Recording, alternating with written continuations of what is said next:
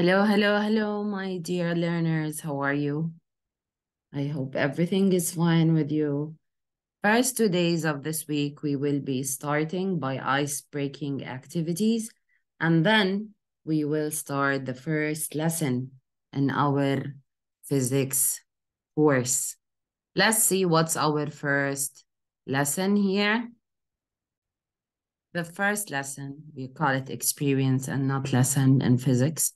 Our first experience is about displacement and velocity. We have the engage part, we have the explore part, and we have also many other activities to enhance our understanding.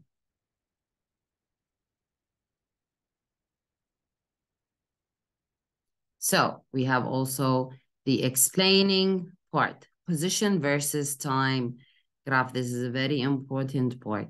What's the difference between displacement and distance? What is displacement? What is velocity?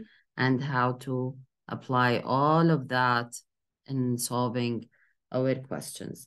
So displacement and velocity will be covered Tuesday, Wednesday, and Thursday because it's a big uh, concept in physics and we need to make sure that every one of you have understood each and every aspect of our lesson. So we have two uh, concepts to introduce, phenomena and modeling motion. We have three experience in each uh, lesson here. And then we have to revisit the anchoring phenomena. This is for investigation one, modeling motion. Now, how motion is modeled? What is it? All what we need to go through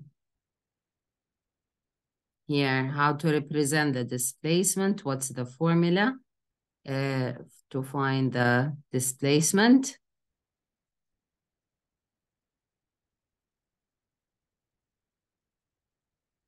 What's the difference between vector quantity and scalar quantity?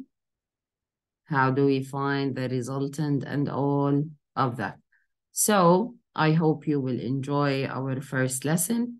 I hope you will enjoy the first week uh, with our physics curriculum and see you soon.